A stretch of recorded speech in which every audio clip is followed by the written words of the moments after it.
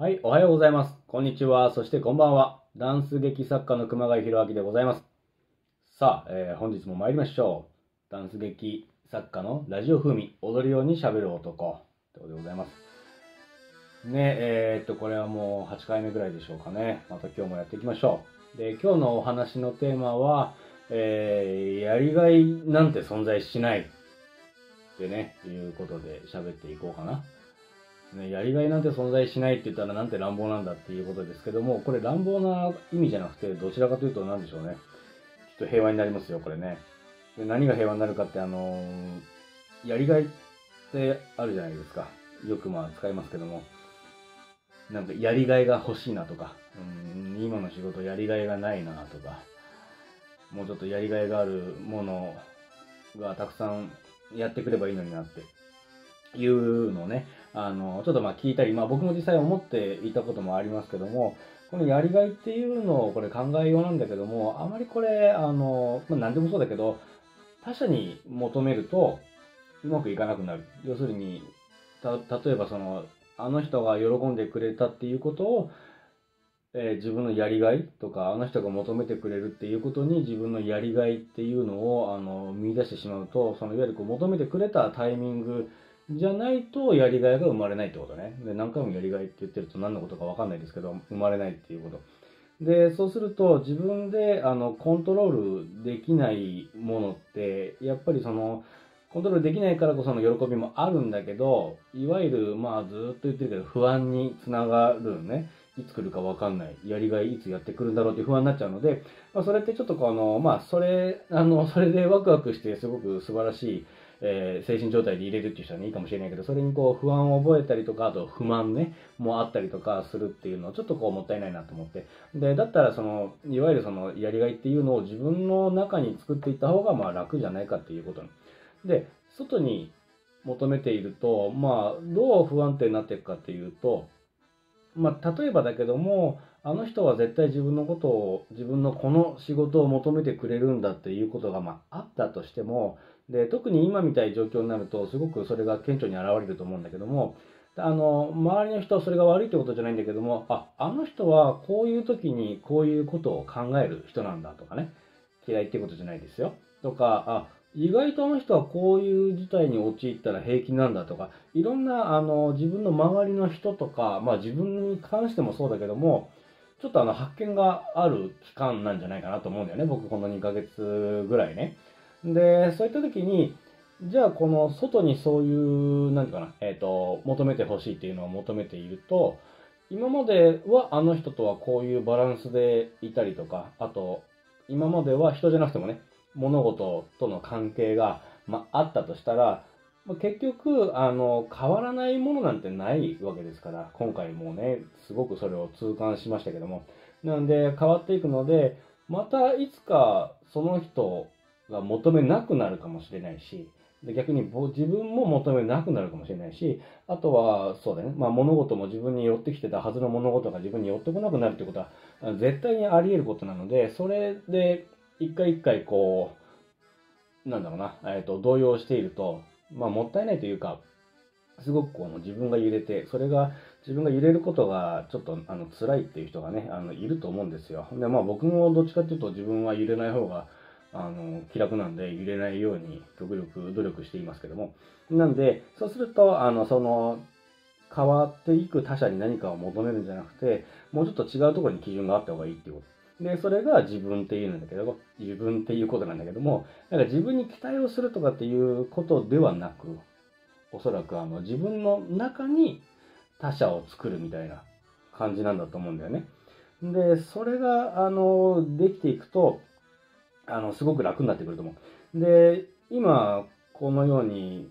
あの、時間がすごく与えられた時っていろんなこと考えれると思うんだけども、そのいろいろなことを考える時に、割とこう、自分自身を考えるっていうのは大事なんだと思うんだね。で、まあ僕は踊りもやってますから、体を動かす時っていうのは、あの、意外と自分の体の中のことにすごく目を向けるって大事だと思うんだよ。当たり前のことなんじゃないかと思うかもしれないけども、意外と踊りもそういうことやるの難しいと思うんだよね。あの、まあそもそもがあのパフォーマンスをするっていうね、何かこう、人に見せるっていうことを主に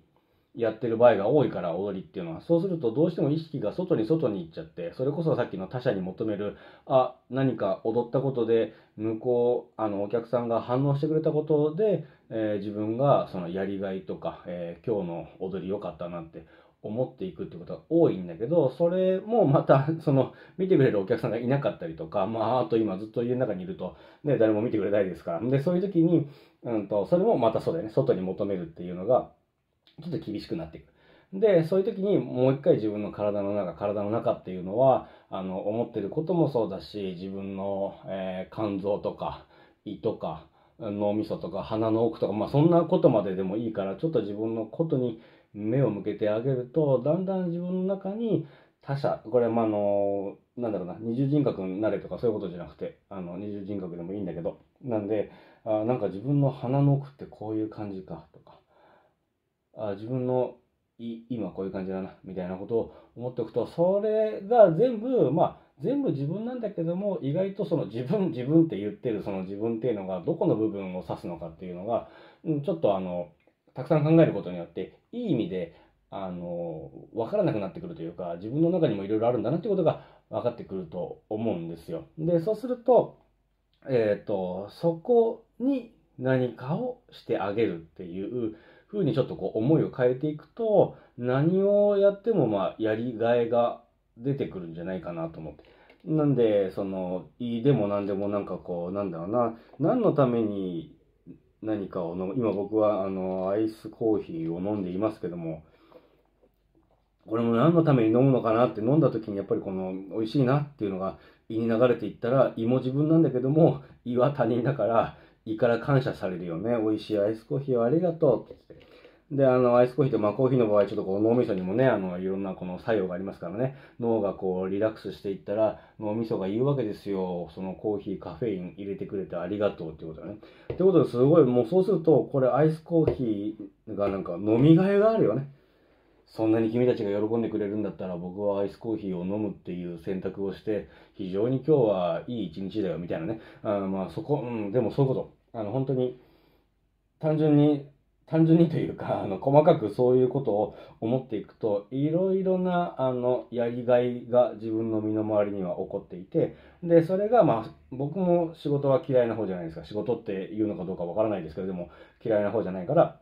何か作業をするとかえっ、ー、と、なんだろうね、振り付けをするとか、なんか演出を考えるとかっていうことを、一個一個が、えっ、ー、と、他者に与えてる影響っていうよりも、自分の中にいるその他者に与えてる影響みたいなのを、すごくあの、思ってくると、一個一個の行動を、えっ、ー、と、変えることができる。あの、やっぱりこっちのが喜ぶこととか、え自分の中から感謝されることを選択していって、それらの作業、まあ、振り付けでも踊ることでも、演出でも、あとなんかいろいろな他のお仕事でもやっていくと、まあ変わるんで、ずっとずっと外に求めてた人がそれをやり始めると、外、あの、それをやり始めると、外から見ると、あの人ちょっと最近変わったなってなるかもしれないですけども、まあ、それはね、いいんじゃないですか？変わったって。変わったってっていうか、今このなんだ、この自粛期間っていうのが終わって、みんな、外に出るんでしょ？外に出るんでしょってあの、一気に出るなってまた言う人もいますけどもね。まあそれはまあさておき、まあ出ていくわけですよ。いろいろ活動が始まるわけですよ。そうした時に、なんか、あるかもしれないよね。あれなんか、久々に会ったらあの人変わったな、みたいな。でもそれはそうですよ。こんだけみんなね、あの、人と会うなって言われてたらいろんなことを自分で考えますから、それ多分変わったっていいと思うんだよね。でも大事なのは、なんかその変わったっていうのを、お互いが、あの、受け入れていった方がいい。多分、この時間で変化した変化っていうのは、すごく、うんと、その人にとっていい変化だと思うから、それを周りが受け入れないで、その人がまた前の自分に戻るなんていうことがあったらですね、それこそなんかその人のせっかくの何かの変化を台無しにすることになるから、まあそれは受け入れとこうってね。だからもう、どうでしょう、もうこれから、あの、6月に入って、お友達と会うときはもう新しいお友達と会うぐらいの気持ちでね、あったらちょっと何か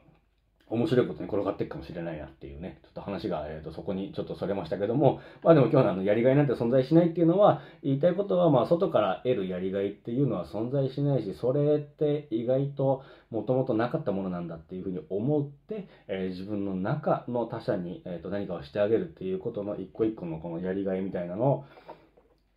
えっ、と、ちょっとこう工夫して、あの、生活してみると楽しいんじゃないかなということでございました。それでは一度 CM に参りましょう。CM どうぞ。よし。今日もよく踊った。俺。喉乾いたな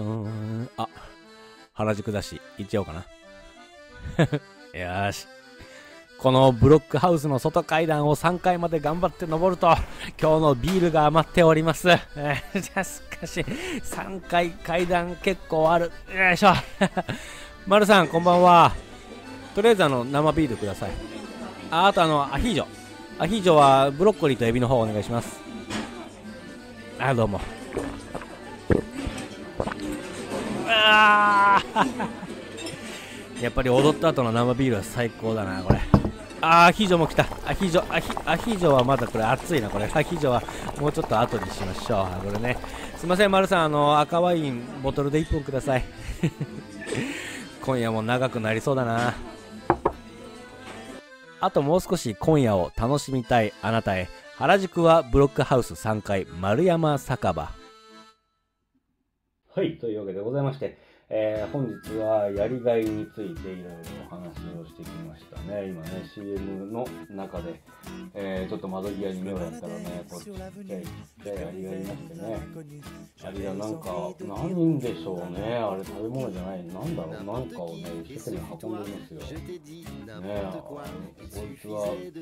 どんな風にね、やりがいを感じてるんでしょうか、ペットに一生懸命話してますけども、ね、一生懸命、でもこのアリだって言ってこともあるんで、ね。まあ、えっと、本日はですね、これ4月14日ですね、の、そのね、夕方ですけどもね、あの、さっきもちょっと言っていたね、あの、宣言ですか、えーが一部解除されて、あの東京もまあ、早くなるのか、あんまならないのかっていうのがありますけどもね、あの、お気持ちはすごくわかるけどもね、あの、気を解除されたからといって、気を緩めないように。気を緩めないようにね、あの、すごくあの力を込めている方だと思いますけどもね、もちろん、あの、そうですよ、気を緩めてはいけませんけども、気を緩めるなとか、油断してるぞとか、ちょっとなんか緩んでるんじゃないかと、なんか言われてると、なんか怒られた気持ちになって、なんでしょうね、いまいち、あの、なんだ、気分が悪いよね、あれね。なんかあの、いい言い方をね、今、だからって言って今、何も思いつきませんけども、いい言い方が思い当たったらいいな、なんか油断するなっていうよりも、なんあーちょっと楽しくなっちゃったね、みたいなことかな。うん、ちょっと楽しくなっちゃった。ぐらいな感じの方がなんか楽かな。楽かなっていうかあのだってずっとこれがというかね新しくいろんな生活の仕方がって言いますけどもだったらばねもうちょっとあのゆるっとした気持ちであのいける言葉遣いとかっていうのを発見していこうかなせっかくいこうかなっていうか発見していきたいですね皆さんでね。なのでね油断するな。なかなかね、の危機迫る時しか言われませんからね、そう言われるとハッとしますから、えーちょっとね、楽しくなっちゃったね、ぐらいのことをね、言いながらね、これからも頑張っていこうかなと思います。さあ、話が分かりわからなくなりましたけども、お便り、えーまだまだお便りを、えー募集しております。えー、宛先はですね、踊る熊谷アットマーク e-mail.jp でございます。odoru-kumagai アットマーク e-mail.jp 踊るように喋る男、えーお便り係まで、えー、送っていただければいいかなと思いますよ。必ず全部を読んでおりますよ。ですね、えーそれでは4月14日でございましたけどもね、えーまた皆様すぐにお会いいたしましょう。ありがとうございました。どうも。あなたを待つよシャンゼリゼ